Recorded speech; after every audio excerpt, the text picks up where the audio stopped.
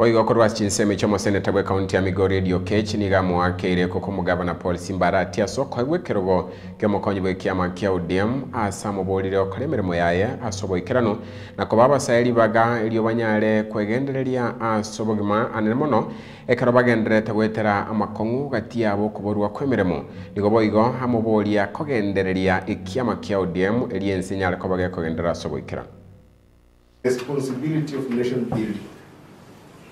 Will only be given to reliable custodians. It's where we find ourselves today as a country. Uh, I think that if you get a chance to lead a party called ODM, you're being called for something bigger. You're being called for nation building. Because we reach a point whereby the population is more and more losing hope in the political class. And the political class is also compromising so much on the values of service. So when I heard that you were being called to serve as a deputy party leader, the idea of service has been really, really hitting in my head. And not only for you, and even your colleagues who have been called to do that role.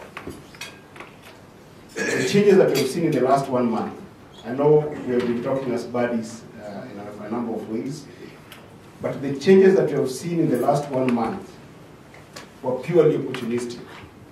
They're not changes that anybody planned.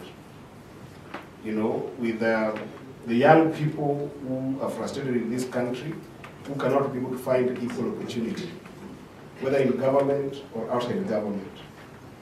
Now, the way my leader always says, where there's a crisis, there's always an opportunity. We took an opportunity to reorganize ourselves as a party by donating some of our experts to go and help government stabilize. But one fact remains, one fact remains that young people in this country are still frustrated, they are still having economic problems, and they're still having economic challenges.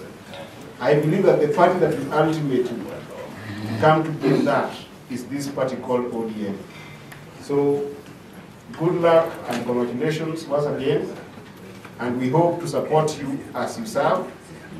And as young people in this country, we just hope that you put in a platform that will enable other young people to be able to get the best out of what this country can give them.